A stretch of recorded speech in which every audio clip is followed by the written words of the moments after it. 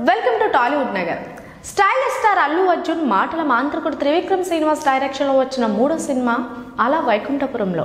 ఈ సినిమాలో అల్లు అర్జున్ జోడిగా పూజా హెగ్దే మరోసారి ఆడిపాడింది. గత సినిమాలో అనుకున్నంతగా అలరించకపోవడంతో ఈ సినిమాపై భారీ అంచనాలు పెట్టుకున్నారు. బన్నీ దానికి తగ్గట్టుగానే సినిమాలో పాటలు రిలీజ్కు ముందే సూపర్ క్రేజ్ను తెచ్చాయి.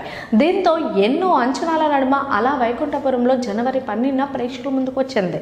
దీంతో ఇక సంక్రాంతి పండుగ వేళ సినిమా థియేటర్లు కలకల్లాడుతున్నాయి. ఇక అటు క్లాసు ఇటు మాసు అని తేడా లేకుండా అన్ని వర్గాల ప్రేక్షకులు మెప్పించి బ్లాక్ బస్టర్ ఫ్యామిలీ ఎంటర్టైనర్ అని అనిపించుకుంటుంది. త్రివిక్రమ్ టేకింగ్ బన్నీ స్టైలిష్తో ఈ ఇద్దరి కాంబోలో మరో బంపర్ హిట్ అని చెప్తున్నారు.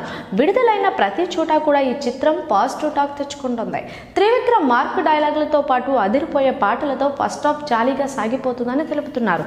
అంతేకాదు ప్రీ ఇంటర్వెల్ సీన్ ఎంతో ఆసక్తిగా ఉందని చెప్తున్నారు. ఇక ఈ సినిమా సరిలేరు నీకెవరితో పోటీగా రిలీజ్ అయినా ఆ సినిమాతో పాటే ఈ సినిమాకి కూడా ప్రేక్షకులు బ్రహ్మరథం పట్టారు. తొలి రోజు ఈ సినిమా బాక్స్ ఆఫీస్ వద్ద మంచి కలెక్షన్స్ రాబట్టిందని సినీ ట్రేడ్ పండితులు చెప్తున్నారు.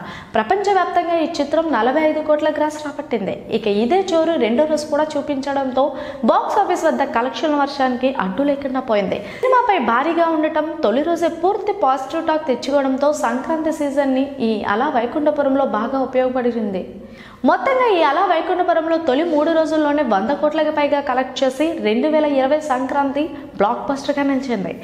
మరిన్ని ఇంట్రెస్టింగ్ అప్డేట్స్ కోసం చూస్తున్నానని వచ్చాను